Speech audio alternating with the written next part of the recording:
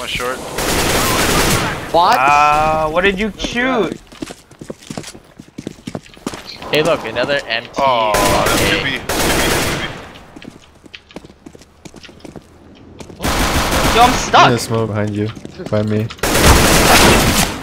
Oh my god. This is real life? Did, did you Told not you, see me get stuck A. on the balloon? Is Oh, here we go. the ultimate path.